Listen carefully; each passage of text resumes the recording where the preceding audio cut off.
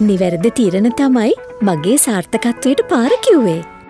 විෂන්කයා විශ්වාසනීය දැක්ම. මේ පිළිබඳ ඒ දිනේදී කැබිනට් පණ්ඩලේදී ගරු විශේභාර අමාත්‍යතුමා විසින් අවධානය යොමු කරවනු ලැබුවා.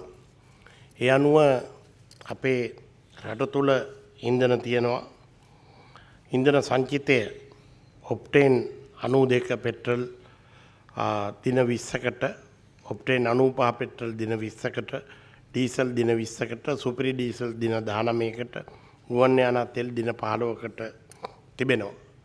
එනිසා ඒ අවශ්‍ය ආරක්ෂිත තොග මට්ටම ප්‍රශස්ත ලෙස පවතිනවා.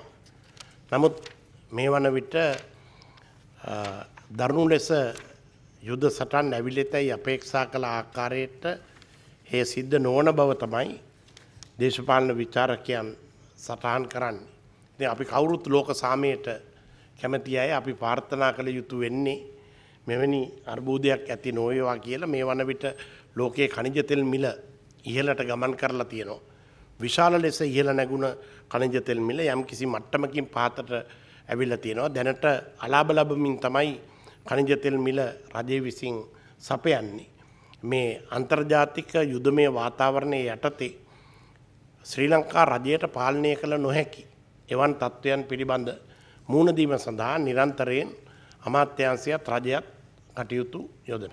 මිල වැඩීමත් සිදුවෙනවා දැමැත්තුමා ඉදිරියේදී ඉන්දනවල මිල වැඩීමත් සිදුවෙනවාද අවශ්‍යම වැඩිවෙන් ඕනික ඔබතුමට තේරනවනි මොකද අපේ රටේ කනිජ තෙල් නිෂ්පාදනය කරන්නේ ලෝක වෙළඳ පොලේ තෙල් මිල වැඩිවෙනවනම්.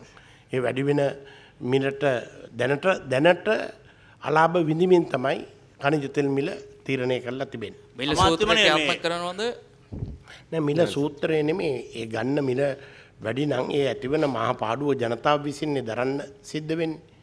ඒ අනුව ගැලපුමක් කරයි රජය විසින් ඒ ගනම් බල්ලා.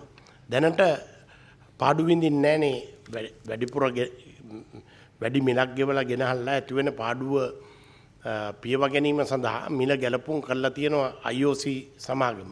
ඉන්දියනු ඔයිල් සමාගම රජය එසේ නොකොට සානාධාරයක් දීගෙන යනවා දැනට. Breaking Turkey.